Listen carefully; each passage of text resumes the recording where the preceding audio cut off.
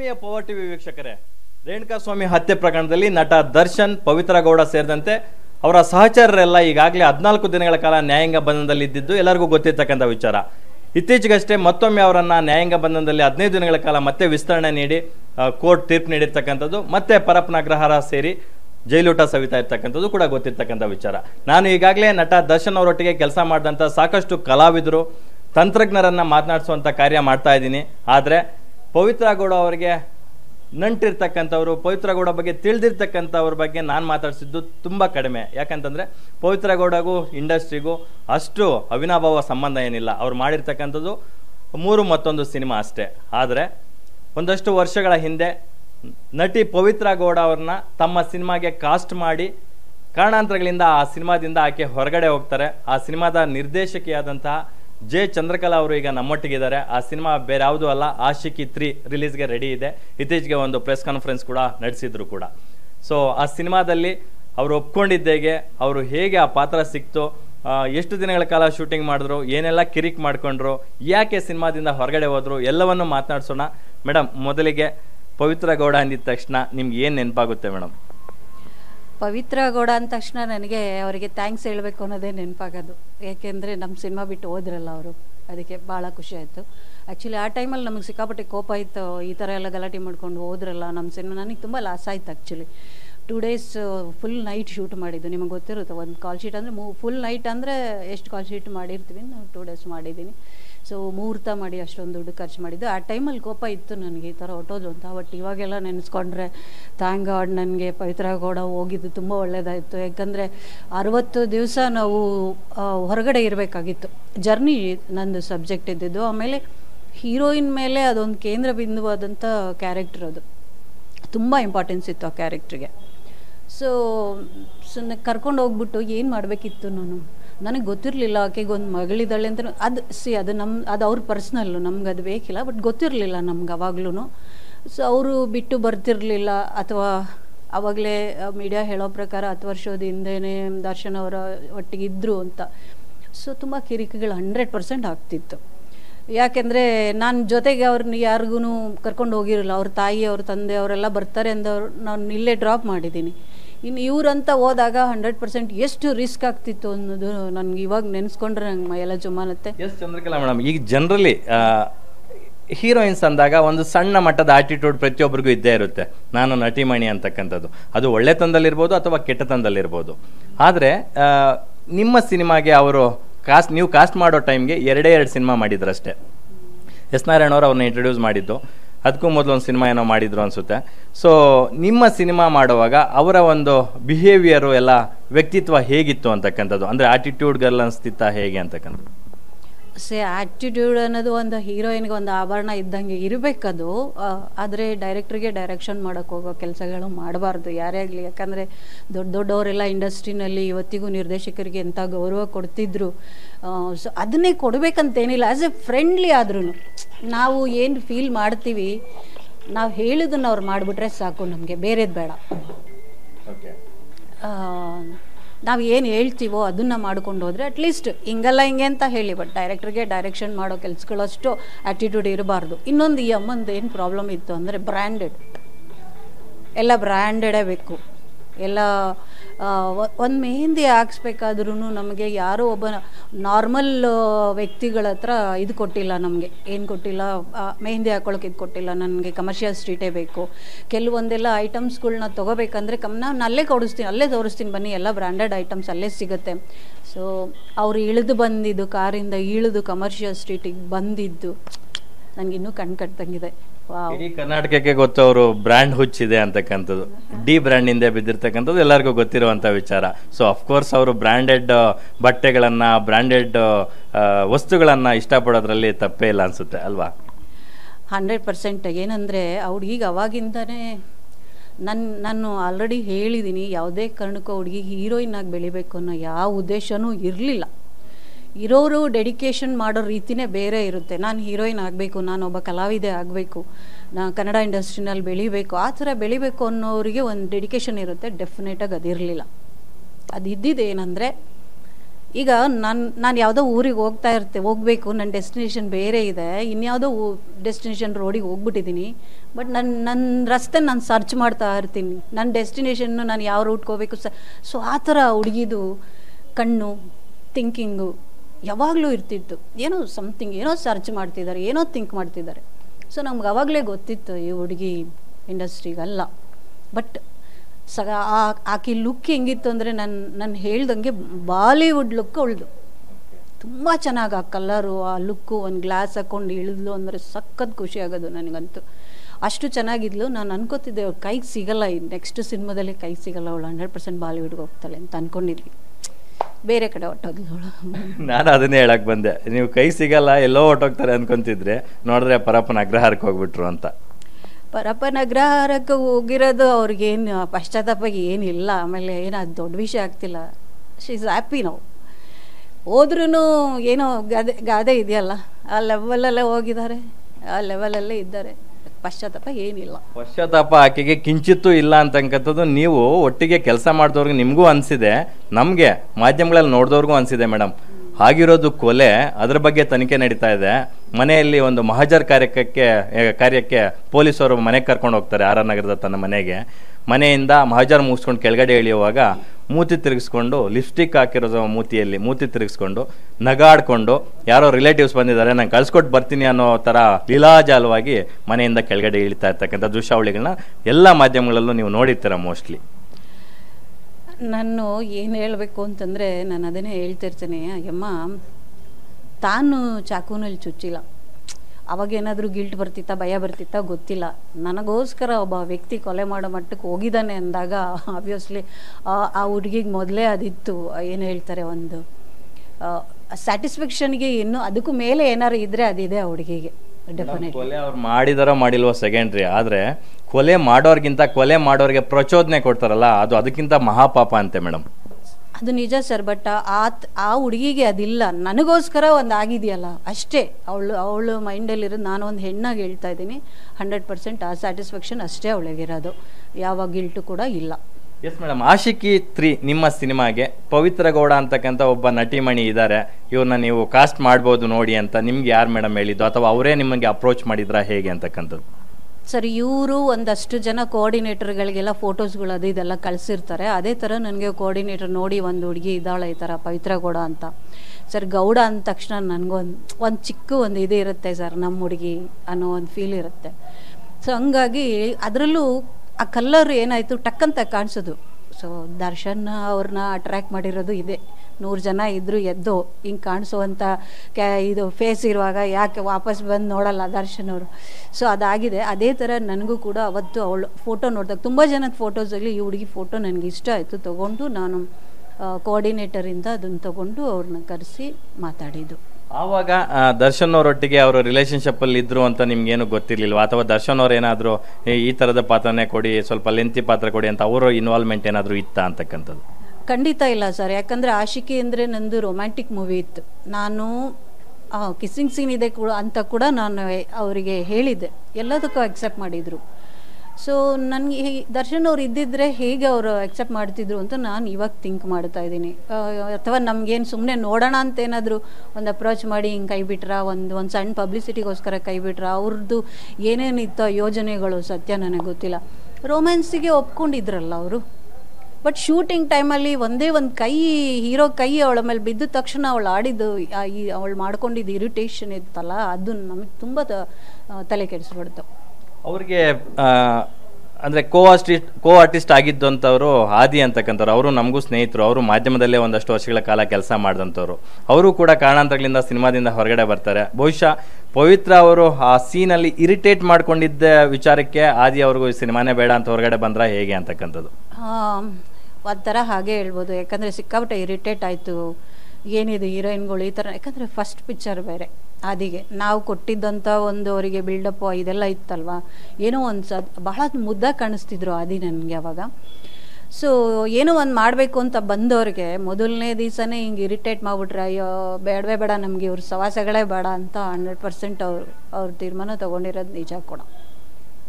ಅಂದರೆ ಈಗ ಸಿನಿಮಾ ನಟಿಮಣಿಯರು ಅಂದಾಗ ತಪ್ಕೊಳ್ಳೋದು ಇಂಟಿಮಸಿ ಸೀನ್ಗಳಿರ್ತವೆ ಕಿಸ್ಸಿಂಗ್ ಎಲ್ಲ ದೂರದ್ದು. ಇಂಟಿಮಸಿ ಸೀನ್ಗಳು ತಪ್ಕೊಳ್ಳೋದು ಹತ್ರ ಹತ್ರ ನಿಂತ್ಕೊಳ್ಳೋದು ಕೈ ಹಾಕೋದು, ಇದೆಲ್ಲ ಇದ್ದೇ ಇರುತ್ತೆ ಅಂತಕ್ಕಂಥದ್ದು.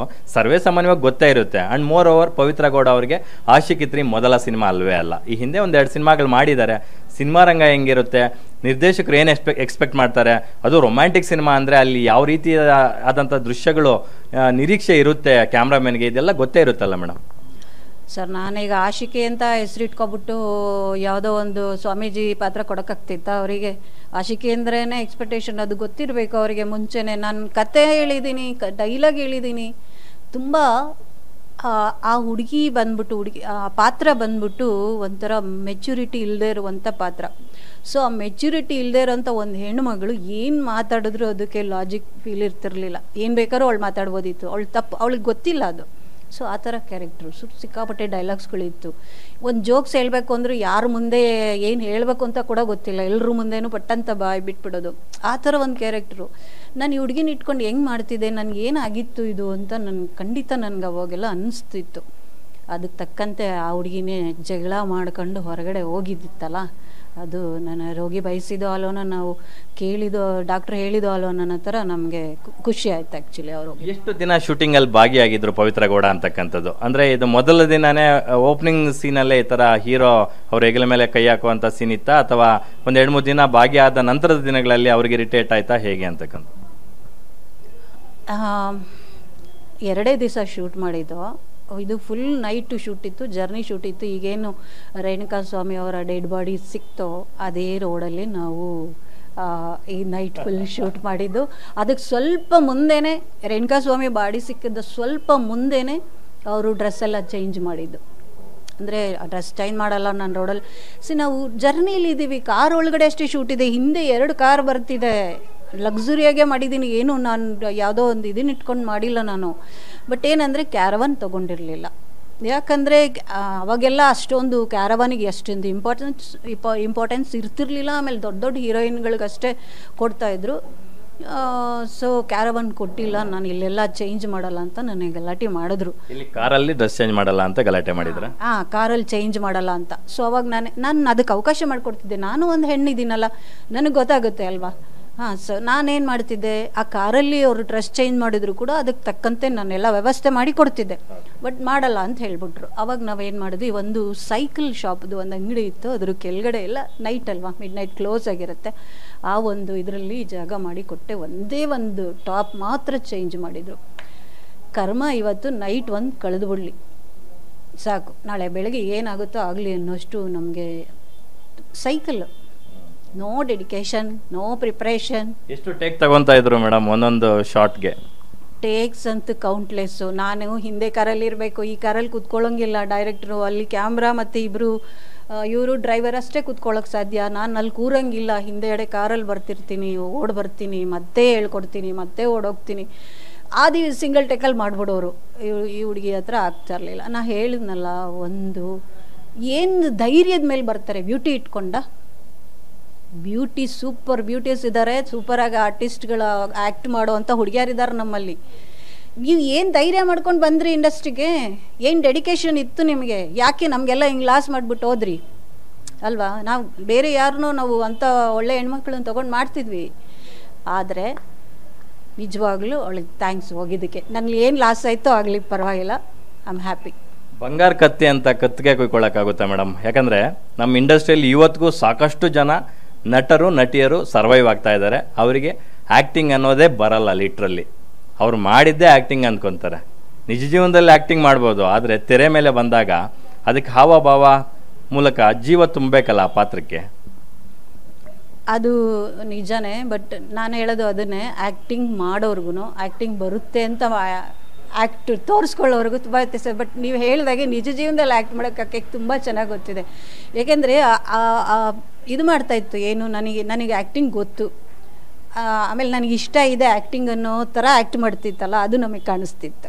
ಅದರಲ್ಲಿ ತೋರಿಸಿದ್ದಂಥ ಒಂದು ಪರ್ಸೆಂಟು ನನ್ನ ಸಿನಿಮಾ ಸ್ಕ್ರಿಪ್ಟ್ ಮೇಲೆ ತೋರಿಸಿದ್ರೆ, ನಾನು ಇನ್ನೂ ಒಂದು ಹೇಳಬೇಕು ಅಂದರೆ, ನಿಜವಾಗ್ಲೂ ಹುಡುಗಿ ಒಂದು ಡೆಡಿಕೇಟ್ ಮಾಡಿ, ಒಂದು ಒಳ್ಳೆಯ ದಾರಿನಲ್ಲಿ ನಡ್ಕೊಂಡು ಬಂದು ಇಂಡಸ್ಟ್ರಿನಲ್ಲಿ ಬೆಳಿಬೇಕು ಅಂದಿದ್ದಿದ್ರೆ ನಾನು ಹೇಳ್ತೀನಿ, ಇದೇ ದರ್ಶನ್ ಅವರು, ಆ ಹೀರೋಯಿನ್ಗೋಸ್ಕರ ಡೇಟಿಗೆ ವೆಯ್ಟ್ ಮಾಡೋರು ಪಕ್ಕ ನಾ ಹೇಳ್ತೀನಿ ಅಷ್ಟು ಚ ಚೆಂದ ಕಾಣಿಸ್ತಿರ್ಲಿಲ್ಲ ಆಗ ಅವಳು.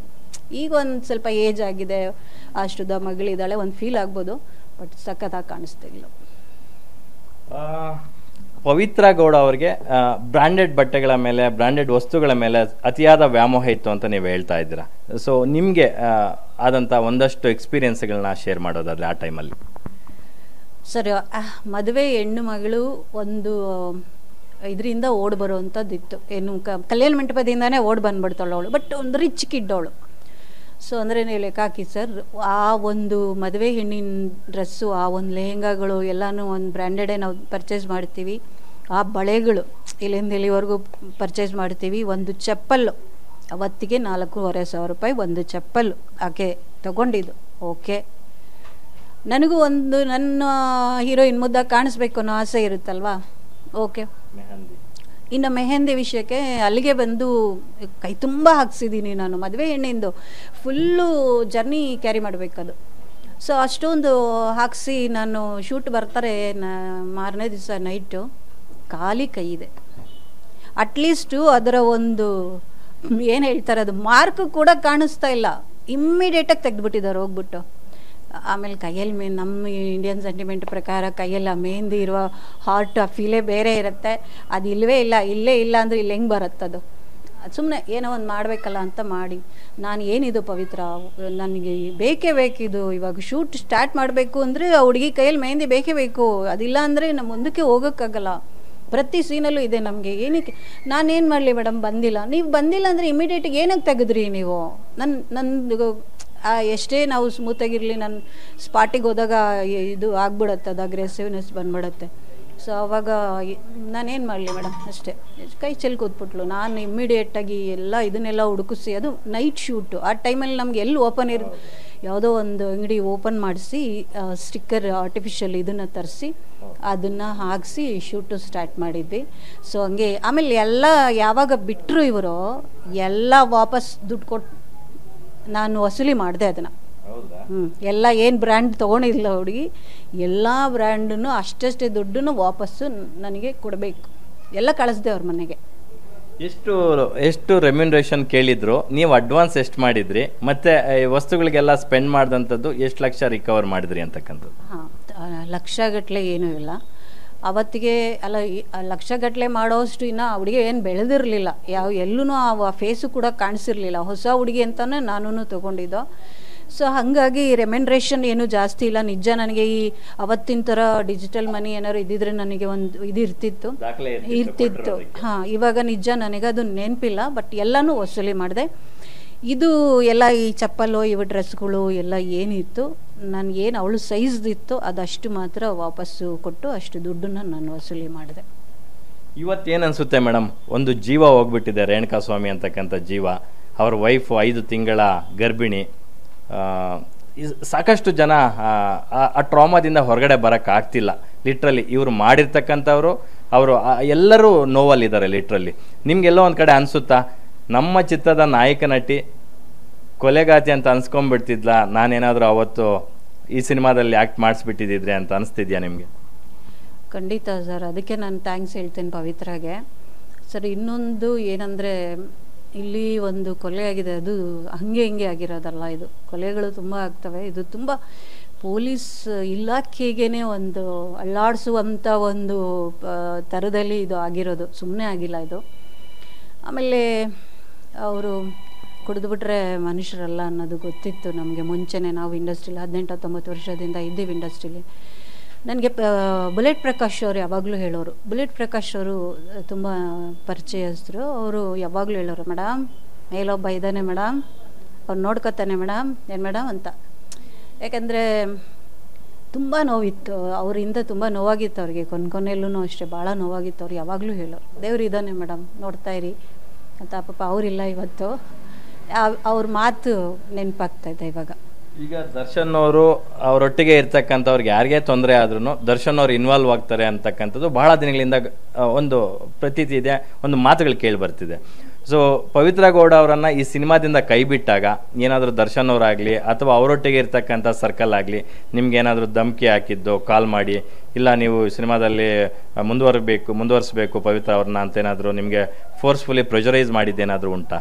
ನಾನೇ ಅವ್ರನ್ನ ತೆಗೆದಾಕಿದ್ರೆ ಬಹುಶಃ ಇದು ಆಗ್ತಿತ್ತು ಅನಿಸುತ್ತೆ. ಇದು ಅವರಾಗವರೇ ಹೋಗಿರೋದು. ನನಗೆ ಗೊತ್ತಿರೋಂಗೆ ಈಗ ಎಲ್ಲಿ ಈ ಲ್ಯಾಪ್ ಮೇಲೆ ಕೈ ಇಟ್ಟರು ಆ, ಹೀರೋ ಆವಾಗಲೇ ಇರಿಟೇಟ್ ಮಾಡ್ಕೋತಿದ್ದಾರೆ ಅಂದರೆ ಅಫ್ಕೋರ್ಸ್ ಒಂದು ರಿಸ್ಟ್ರಿಕ್ಷನ್ ಇತ್ತು ಅನಿಸುತ್ತೆ. ಅದನ್ನು ಕೇರ್ ಮಾಡಿದೆ ಹುಡುಗಿ ಎಂಟ್ರಿ ಆಗಿತ್ತು ಅನಿಸುತ್ತೆ. ಬಟ್ ಎಲ್ಲೋ ಆ ಭಯ ಕಾಡ್ತಿತ್ತು ಅವಳಿಗೆ. ಇನ್ನು ಮುಂದುವರೆದ್ರೆ ಇದು ಎಡವಟ್ಟಾಗುತ್ತೆ ಅಂತ ಬಹುಶಃ ಅದಕ್ಕೆ ಹೋಗಿರೋದು. ನನಗೆ ಗೊತ್ತಿರೋಂಗೆ ಮುಂದಕ್ಕೆ ಮಾಡೋದು ಕಷ್ಟ ಇದೆ. ಸೊ ಅವ್ರ ಕಡೆಯಿಂದ ಪ್ರೆಷರ್ ಆಗಿದೆ. ಮಾಡಬಾರ್ದು ಅಂತ ಬಹುಶಃ ಅದಕ್ಕೆ ಅವಳು ಹೊರಗಡೆ ಹೋಗಿರಬೇಕು. ಯಾವಾಗ ಆದಿ ಮತ್ತೆ ಪವಿತ್ರಗೌಡ ಪವಿತ್ರ ಗೌಡ ಅವರು ಸಿನಿಮಾದಿಂದ ಹೊರಗಡೆ ಹೋದ್ರು ಆ ನಂತರದ ದಿನಗಳಲ್ಲಿ ಸಂದೀಪ್ ಮತ್ತೆ ಐಶ್ವರ್ಯ ಸುಂದೋಗಿ ಅವ್ರನ್ನ ನೀವು ಸ್ಟಾರ್ ಕಾಸ್ಟ್ ಮಾಡಿದ್ದ ಹೇಗೆ ಅಂತಕ್ಕಂಥ ಇಲ್ಲ ಇಲ್ಲ. ಆ್ಯಕ್ಚುಲಿ ಆದಿ ಸಂದೀಪ್ ಇಬ್ಬರು ಹೀರೋ ಒಬ್ಳು ಹೀರೋಯಿನ್ನು ಅದೇ ನಾ ಹೇಳಿದೆ ಅದು. ಒಬ್ರು ಫಸ್ಟ್ ಹಾಫ್ ಅಲ್ಲಿ ಒಬ್ರು ಸೆಕೆಂಡ್ ಹಾಫ್ ಅಲ್ಲಿ ಹೀರೋ ಇದ್ರೆ ಹೀರೋಯಿನ್ ಬಂದ್ಬಿಟ್ಟು ಕಂಪ್ಲೀಟ್ ಮೂವಿ ಆ ಥರ ಒಂದು ಪಾತ್ರ ಅದು. ಹಂಡ್ರೆಡ್ ಪರ್ಸೆಂಟ್ ಪೈತ್ರ ನಿಭಾಯಿಸೋಕೆ ಆಗ್ತಿರ್ಲಿಲ್ಲ. ಒಂದು. ಇನ್ನೊಂದು ಆದಿ ಬಂದು ಅವಾಗ ಡ್ರಾಪ್ ಆದರು ಸಂದೀಪು ಹಾಗೆ ಉಳ್ಕೊಂಡ್ರು. ಆಮೇಲೆ ಚಂದ್ರಶೇಖರ್ ಅಂತ ಒಬ್ಬರು ಪ್ರೊಡ್ಯೂಸರ್ ಬಂದರು. ಮೇಡಮ್ ಅಪ್ಸೆಟ್ ಆಗಬೇಡಿ. ಬಿಟ್ಟಾಕಿ ಅವಳನ್ನು, ಅವಳು ಇದ್ದಿದ್ರೆ ನಾನು ಮಾಡ್ತಿರ್ಲಿಲ್ಲ. ಅವಳೇನಾದರೂ ಹೀರೋಯಿನ್ ಆಗಿದ್ರೆ ನಾನು ಮಾಡ್ತಿರ್ಲಿಲ್ಲ. ನೀವು ಅವಳು ಬಿಟ್ಟಾಕಿ ಬೇರೆಯವ್ರನ್ನ ತೊಗೊಂಡು ನಾವು ಕಂಪ್ಲೀಟ್ ಮಾಡೋಣ ಬನ್ನಿ ಅಂತೇಳಿ ನನಗೆ ಚಂದ್ರಶೇಖರ್ ಅಂತೇಳಿ ಇವಾಗ ಯಾರು ಪ್ರೊಡ್ಯೂಸರ್ ಇದ್ದಾರೋ ಅವರು ಬಂದು ಏನು ಮಾಡಿದ್ರು, ನಾವು ಮತ್ತೆ ಅಡಿಷನ್ ಮಾಡಿದ್ವಿ. ಐಶ್ವರ್ಯ ಸಿಂಧೋಗಿ ಸೆಲೆಕ್ಟ್ ಆದ್ಲು. ಮತ್ತು ಆದಿ ಜಾಗಕ್ಕೆ ನಾವು ಪ್ರದೀಪ್ನ ತೊಗೊಂಡ್ವಿ. ಗರ, ಹೀರೋ ಎಲ್ಲ ಮಾಡಿದ್ರಲ್ಲ, ಅವ್ರ ಪ್ರದೀಪ್ನ ತಗೊಂಡು ಸಿನಿಮಾ ಕಂಪ್ಲೀಟ್ ಮಾಡಿದ್ವಿ. ನೋಡಿ ಐಶ್ವರ್ಯ ಸಿಂಧೋಗಿ ಭಾಳ ಚೆನ್ನಾಗಿ ಆ್ಯಕ್ಟ್ ಮಾಡಿದ್ಲು. ಆ್ಯಸ್ ಎ ಒಂದು ಲೇಡಿ, ಅವ್ರ ತಂದೆ ತಾಯಿ ನನ್ನನ್ನು ನಂಬಿ ಅಷ್ಟು ದಿವಸ ನನ್ನ ಜೊತೆ ಕಳಿಸ್ಕೊಟ್ರು. ಯಾವತ್ತು ಯಾವುದು ಕಿರಿಕ್ ಬಂದಿಲ್ಲ. ತುಂಬ ಚೆನ್ನಾಗಿ ಆ್ಯಕ್ಟ್ ಮಾಡಿದ್ಲು. ಇವತ್ತು ಅದ್ಭುತವಾಗಿ ಬಂದಿದೆ ಸಿನಿಮಾದು. ಕೊನೆಯದಾಗ ಒಂದು ಪ್ರಶ್ನೆ ಕೇಳೋದಾದರೆ, ಬಹುಶಃ ಪವಿತ್ರ ಗೌಡ ಅವರ ಬಗ್ಗೆ ಮಾತನಾಡ್ತಾ ಇರ್ತಕ್ಕಂಥ ಎರಡನೇ ವ್ಯಕ್ತಿ ನೀವು ಅನ್ಸುತ್ತೆ ಮಾಧ್ಯಮಗಳಲ್ಲಿ. ಯಾಕಂದರೆ ಪವಿತ್ರ ಗೌಡ ಅವ್ರ ಬಗ್ಗೆ ಮಾತಾಡೋದಕ್ಕೆ ಯಾರೂ ಇಲ್ಲ. ಅವರ ಹಸ್ಬೆಂಡು ಅಂದರೆ ಮಾಜಿ ಪತ್ನಿ, ಮೊದಲ ಪತ್ನಿ ಅಂತ ನಾವೇನು ಕರಿತೀವಿ? ಸಂಜಯ್ ಸಿಂಗ್ ಅವರು ನಮ್ಮ ಮಾಧ್ಯಮಗಳಿಗೆ ರಿಯಾಕ್ಟ್ ಮಾಡಿದರು. ಪತಿ. ಸೊ ನಮ್ಮ ಪವರ್ ಟಿ ವಿಗೂ ಕೂಡ ಗೂಗಲ್ ಲೈವ್ ಮೂಲಕ ಅವರು ಕೂತಿದ್ರು ಒಂದಷ್ಟೊತ್ತು ಡಿಸ್ಕಷನ್ಗೆ ಅವ್ರು ಹೇಳ್ತಾ ಇದ್ರು, ನನ್ನ ಹೆಂಡತಿ, ನನ್ನ ಮಾಜಿ ಪತ್ನಿ ಒಂದು ಸಣ್ಣ ಇಲಿ ನೋಡಿದ್ರು ಎದುರ್ಕೋತಾ ಇದ್ಲು. ಅವಳು ಈ ಥರದ ಒಂದು ಕೊಲೆ ಮಾಡಿದಾಳೆ ಅಥವಾ ಕೊಲೆ ಮಾಡಿಸೋ ಮಟ್ಟಕ್ಕೆ ಹೋಗಿದ್ದಾಳೆ ಅಂದರೆ ನಾನು ನಂಬಲ್ಲ ಅಂತಕ್ಕಂಥ ಮಾತನ್ನು ಅವ್ರು ಹೇಳ್ತಿದ್ರು. ವಿಪರ್ಯಾಸ ಅಂದರೆ ಇದೆ. ಅಟ್ಲೀಸ್ಟ್ ಆಯಪ್ಪ ಆದ್ರೂ ವಿಜಯಲಕ್ಷ್ಮಿ ಸಪೋರ್ಟ್ ನಿಂತಿಲ್ಲ ಅಂದರೆ ಇದು ಏನು ಹೇಳ್ಕೊಬೇಕು? ಏನು ಭಯ ಆಗ್ತಿದ್ಯಾ? ಭಯನಾ ನಿಮಗೆ? ನಿಮ್ಗೆ ಏನಾರು ಆಗ್ಬಿಡುತ್ತೆ ಅಂತ? ಬಹುಶಃ ಅವ್ರಿಗೂ ದರ್ಶನ್ ಅವರು ದರ್ಶನ್ ಅವ್ರ ಕಡೆಯವರು ಧಮಕಿ ಹಾಕಿರ್ಬೋದು. ಡೆಫಿನೆಟ್ಲಿ ಇರೋ ಚಾನ್ಸಸ್ ಇರುತ್ತೆ. ಯಾರು, ಆ, ಯಪ್ಪ ಇವತ್ತಿಗೂ ನನ್ನ ಹೆಂಡತಿ, ನಾನು ಪವಿತ್ರ ಹತ್ರ, ಪವಿತ್ರ ಶಿ ಇಸ್ ಗುಡ್ ಅವರು ಒಳ್ಳೆಯವರು, ನಾನು ಅವ್ರ ಜೊತೆ ಬೇಕಾದ್ರೆ ಅವ್ರಿಗೆ ಮಾತಾಡ್ತೀನಿ, ನಾನು ಯಾಕೆ ವಿಜಯಲಕ್ಷ್ಮಿ ಕಳಿಸ್ಲಿ ಅಂತ ಇದೊಂದು ದೊಡ್ಡ ವಿಪರ್ಯಾಸ ನಿಜವಾಗ್ಲೂ. ಯಾಕೆಂದರೆ ಅಷ್ಟು ಮುಂದುವರೆದಿಲ್ಲ ನಮ್ಮ ಈ ಇಂಡಿಯಾ ಅಷ್ಟೆಲ್ಲ ಅನ್ಯಾಯ ಆಗಿದೆ ಆತನಿಗೂ ಕೂಡ. ಅವನು ಅದನ್ನು ವಹಿಸ್ಕೊಂಡು ಮಾತಾಡ್ತಿದ್ದಾನೆ ಅಂದರೆ ಹಂಡ್ರೆಡ್ ಪರ್ಸೆಂಟ್ ಇದು ಭಯ ಬಿದ್ದೆ ಮಾತಾಡ್ತಿರೋದು ನನಗೆ ಗೊತ್ತಿರಂಗೆ.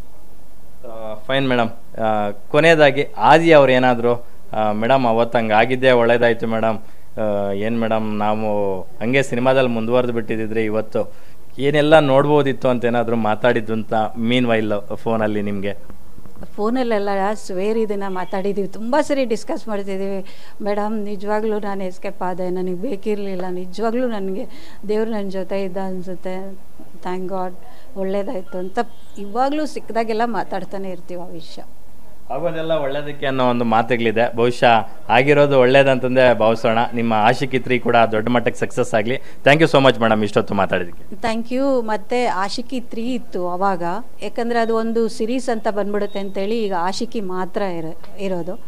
ಸೊ ಈಗ ಆಶಿಕಿ ಅಂತ ರಿಲೀಸ್ ಮಾಡ್ತಾ ಇದ್ದೀವಿ ಒಳ್ಳೇದಾಗಲಿ ಮೇಡಮ್ ಥ್ಯಾಂಕ್ ಯು ಎಸ್ ವೀಕ್ಷಕರೇ ನೋಡಿದ್ರಲ್ಲ ನಟಿ ಪವಿತ್ರ ಗೌಡ ಅವರನ್ನು ತಮ್ಮ ಆಶಿಕಿ ಸಿನಿಮಾಗೆ ಕಾಸ್ಟ್ ಮಾಡಿದಂಥ ಜೆ ಚಂದ್ರಕಲಾ ಗೌಡ ಅವರು ನಮ್ಮೊಟ್ಟಿಗೆ. ಆ, ಪವಿತ್ರ ಗೌಡ ಅವರ ಡಿಮ್ಯಾಂಡ್ಸ್ ಹೇಗಿತ್ತು ಅವರು ದೊಡ್ಡ ನಟಿಯಾಗಿ ಬೆಳೀಲಿಲ್ಲ ಅಂತಂದ್ರೂ ಕೂಡ ಅವರ ಡಿಮ್ಯಾಂಡ್ಸ್ ಯಾವ ರೇಂಜ್ಗಿತ್ತು ಎರಡೇ ದಿನಕ್ಕೆ ಸಾಕಪ್ಪ ಸಾಕು ಮಾಡಿಸಿದಂತಹ ಕತೆಗಳು ಹೇಗಿತ್ತು ಅದೆಲ್ಲವನ್ನು ನಮ್ಮ ಮುಚ್ಚೆ ಕುಲಂಕುಷವಾಗಿ ಹಂಚ್ಕೊಂಡಿದ್ದಾರೆ. ಜೊತೆಗೆ ಇವ್ರು ಹೇಳ್ತಾ ಇದ್ರು ಒಂದು ಮಾತು. ನಾನು ಅವರ ಅಪಿಯರೆನ್ಸು ಕ್ಯಾಮ್ರಾ ಪ್ರೆಸೆನ್ಸ್ನ ನೋಡಿ ಈಕೆ ನನ್ನ ಸಿನಿಮಾ ಆದಮೇಲೆ ಬಹುಶಃ ನಮ್ಗೆ ಸಿಗಲ್ಲ, ಎಲ್ಲೋ ಬಾಲಿವುಡ್ ಕಡೆ ಹೋಗ್ಬಿಡ್ತಾಳೆ, ಎಲ್ಲಿಗೋ ಹೋಗ್ಬಿಡ್ತಾಳೆ ಅಂತ ಅಂದ್ಕೊಂಡಿದ್ದೆ ನೋಡಿದ್ರೆ ಪರಪ್ನ ಅಗ್ರಹಾರಕ್ಕೆ ಹೋಗ್ಬಿಟ್ರು ಅಂತಕ್ಕಂಥ ಮಾತನ್ನು ಕೂಡ ಹೇಳ್ತಾ ಇರ್ತಕ್ಕಂಥದ್ದು. ಕ್ಯಾಮ್ರಾ ಪರ್ಸನ್ ಶ್ರೀಹರಿ ಜೊತೆ ಲಕ್ಷ್ಮೀನಾರಾಯಣ್ ಪವರ್ ಟಿವಿ ಬೆಂಗಳೂರು.